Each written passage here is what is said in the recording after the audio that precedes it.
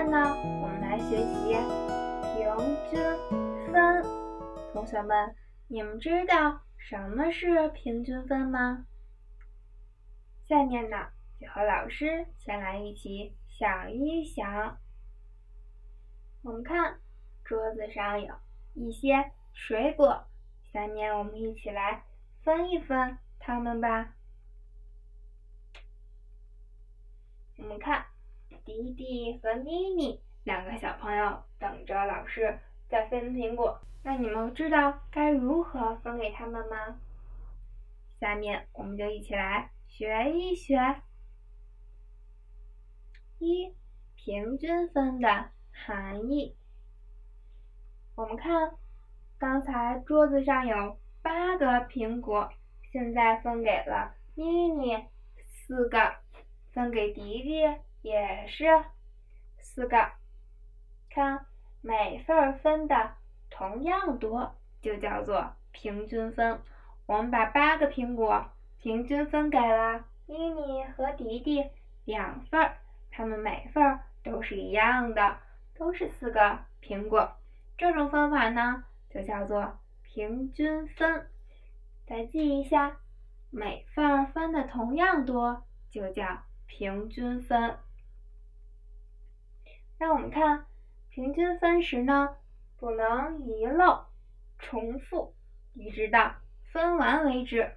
同学们，你们记住了吗？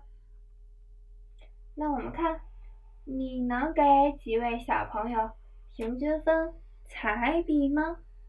我们看一看，一共有这么多的彩笔，有几位小朋友呢？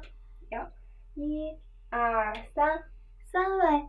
小朋友，回想一下刚才我们学过的什么是平均分呢？对，要分的每份都一样多，而且不能重复，不可以遗漏。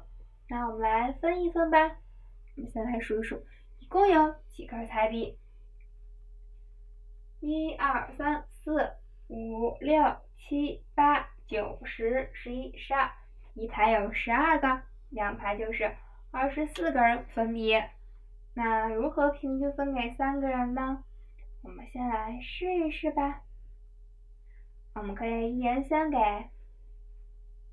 五个，先给他了五个，再给他五个，再给他五个。我们发现应该还剩下六个。然后呢，我们再一个一个的分，给他一个，给他一个，给他一个。再给他一个，再给他一个，再给他一个，发现会正好分完。那么每个人就有一个七，两个七，三个七。我们每一份呢都分了七个，是相等的，所以我们平均分给了三个小朋友。同学们，你们懂了吗？看。需要平均分较多物品的时候呢，我们可以用不同的方法分。为避免一个一个的分太费时了，我们可以第一次多分一些，然后逐渐减少，直到分完为止。同学们，你们懂如何分一些较多的物品了吗？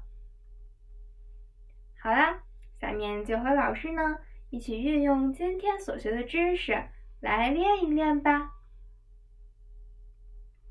我们看，这样是平均分吗？请你判断一下。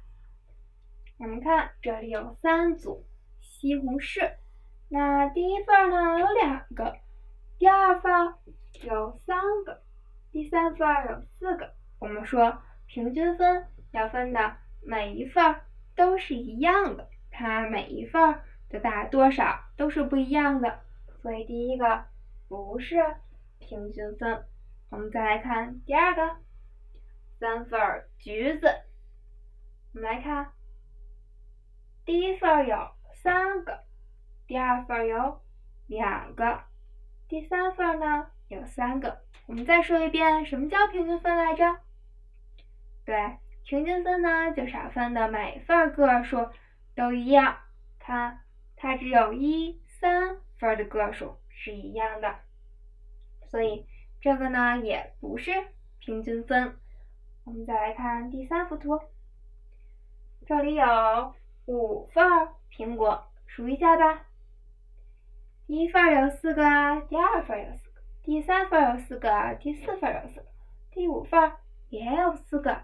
它的每份份数都是相等的，所以它是平均分。同学们，你们判断正确了吗？好啦，下面呢就和老师一起来回忆一下本节课我们所学的内容吧。这节课我们学习了平均分。那我们看一看，什么叫做平均分呢？